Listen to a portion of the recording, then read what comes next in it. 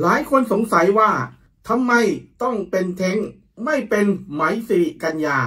มันจะต้องมีนัยสำคัญ เพราะว่าภาพลักษณ์ของไหมสิริกัญญาเนี่ยถูกวางเอาไว้มาตั้งแต่แรก แต่แล้วจู่ๆเปลี่ยนมาเป็นเทงเรื่องราวจะเป็นยังไงเดี๋ยวมาเล่าให้ฟัง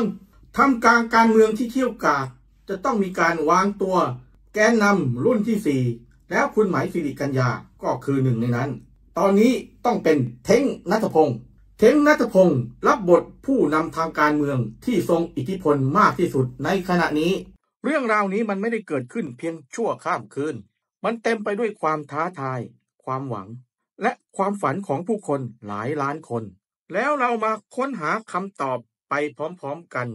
ย้อนกลับไปเมื่อปี 2561 เมื่อพักอนาคตใหม่ก่อตั้งขึ้น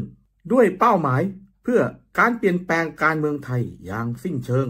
ด้วยการนำเสนอแนวคิดใหม่ๆ ที่ไม่เคยมีใครกล้าทำมาก่อนพักนี้ได้รับการสนับสนุนอย่างมาก จากคนรุ่นใหม่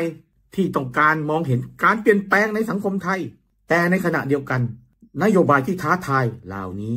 ก็ทำให้พักต้องเผชิญกับความขัดแย้ง ทางการเมืองหลายประการ ในปี 2563 พักอนาคตใหม่ถูกยุบหนี้สินคือทรัพย์สิน เอ้า ตายหาแล้ว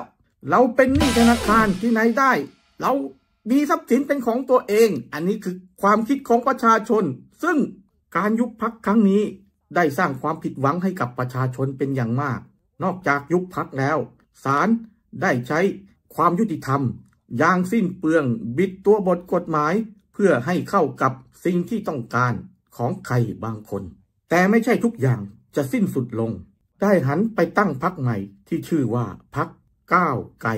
เพื่อสารต่ออุดมการเดิม และเก็บเกี่ยวประสบการณ์จากพักอนาคตใหม่อย่างเต็มที่และสุดความสามารถ พักก้าวไกลถูกจัดตั้งขึ้น เพื่อสารต่ออุดมการจากพักอนาคตใหม่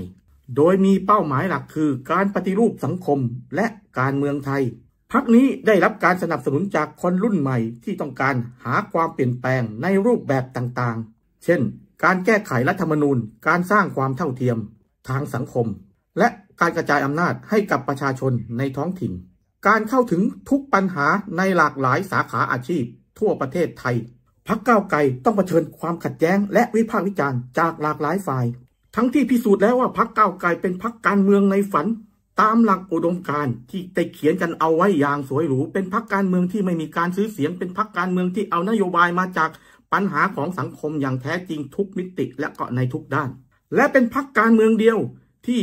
ทุกๆนโยบายมีทั้งที่มาที่ไปแล้วก็วิธีแก้ไขปัญหาครบ 300 นโยบาย แต่เขากลับหยิบยกเอานโยบายที่เกี่ยวข้องกับสิทธิมนุษยชนขึ้นมาพูดถึง แล้วนโยบายนั้นก็คือ 112 ที่ห้ามแตะแต่บรรจุเอาไว้ในกฎหมายอาญาพักเก้าไกลใช้ทุกช่องทางของกฎหมายทำตาม บริสุทธิ์ชนวินยูชนเพื่อจะแก้ไขปัญหานี้ให้กับสังคม แล้วทุกฝ่ายก็เอาเรื่องนี้เข้ามายัดใส่พักก้าวไกลเอาความผิดที่ไม่ได้ก่อเอามาให้ ที่สำคัญคือคนในสังคมทุกคนรู้อยู่ในหัวอก รู้อยู่ในหัวใจ รู้อยู่ในความคิดของตัวเอง ว่าพักก้าวไกล ต้องการเปลี่ยนแปลงโครงสร้างของสังคม ซึ่งมันไปขัดแข้งขัดขาของทุนใหญ่ของประเทศนี้ ในหลากหลายกลุ่มเขาไม่ยอมแบ่งปันอาหารทักจานเล็กจานน้อย ให้กับคนตัวเล็กๆ น้อยๆ อย่างพวกเรา 99%จนกระทั่งในปี 2567 พักนี้ต้องถูกยุบอีกครั้งทำให้สมาชิกพักต้องหาพักใหม่ ในการสารต่ออุดมการของพวกเขา และในที่สุด จุดเริ่มต้นของพรรคประชาชนก็มาถึง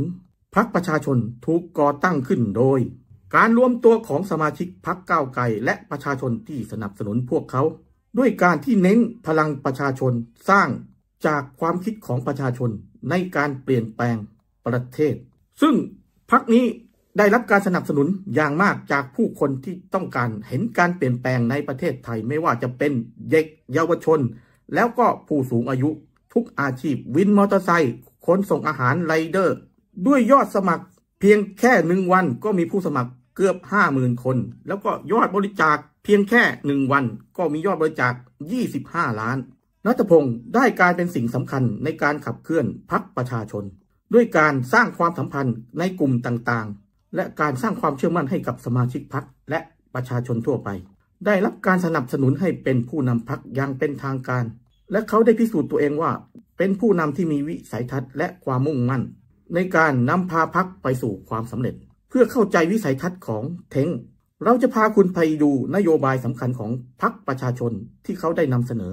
นโยบายเหล่านี้ไม่เพียงส่งผลกระทบให้กับการเมืองไทยในปัจจุบัน แต่ยังมีความยั่งยืนสำหรับแผนการสร้างความมั่นคงให้กับอนาคต ไม่ว่าจะเป็นการปฏิรูปการศึกษา การเสริมสร้างความเข้มแข็งทางเศรษฐกิจ หรือการพัฒนาชุมชนที่ยั่งยืน รวมถึงสร้างความเชื่อมโยงทางข้อมูลของทุกองค์กรภายในประเทศ เพื่อลดขั้นตอนการทำงานซ้ำซ้อนในระบบเครือข่ายดิจิตอลซึ่งเป็นงานถนัดของคุณเท้งเลย ไม่ใช่เพียงแค่นโยบายที่น่าสนใจพักประชาชนยังมุ่งเน้นให้ความสำคัญกับชุมชนในท้องถิ่น และทำให้ประชาชนทั่วไป มีส่วนสำคัญในการกำหนดทิศทางทางการเมืองของประเทศ นี่คือสิ่งที่ทำให้พักประชาชน เป็นที่น่าจับตามองในขณะนี้ แล้วเรามาดูความคิดเห็นจากประชาชนที่สนับสนุนพักและประชาชนที่เห็นต่างกัน เพื่อให้เห็นภาพการเมืองอย่างครบถ้วน การวิพากษ์วิจารณ์ต่อพักประชาชนยังคงมีอยู่ ทั้งจากฝ่ายการเมืองอื่น ๆ และซื้อบางสำนัก แต่การยืนหยัดของพรรคนี้ได้แสดงออกถึงความแข็งแกร่งในการยืนหยัดรับมือกับสถานการณ์ต่างๆ หากคุณสนใจและต้องการติดตามเรื่องราวทางการเมือง และ การเปลี่ยนแปลงที่สำคัญที่กำลังจะเกิดขึ้น ก็ติดตามช่องของเราเพื่อรับรู้ข้อมูลล่าสุด และร่วมเป็นส่วนหนึ่งในการสร้างสารรค์สังคมให้ดีขึ้นอ้าวอย่าลืมแชร์คลิปนี้ให้กับเพื่อนๆ เพื่อให้เขาได้รู้ถึงเรื่องราวที่สำคัญนี้ด้วย เรื่องราวของพักประชาชน และเทงนัทพงศ์เป็นเรื่องราวที่เต็มไปด้วยความหวัง ความมุ่งมั่น และการไม่ยอมแพ้ แม้จะจะะเผชิญกับความท้าทายมากมาย แต่พักการเมืองนี้ก็ยังคงยืนหยัดและเดินหน้าต่อไป ด้วยพลังของประชาชน เรื่องนี้เพิ่งเริ่มต้นเท่านั้น และเราหวังว่าคุณจะติดตามไปด้วยกันทุกขั้นตอน การเมืองไทยในอนาคตจะเป็นอย่างไรเท้งและพักประชาชน จะสามารถนำพาประเทศไปสู่ความสำเร็จได้หรือไม่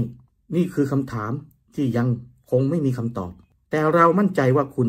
จะไม่อยากพลาดเรื่องราวที่กำลังจะเกิดขึ้นในชีวิต จริง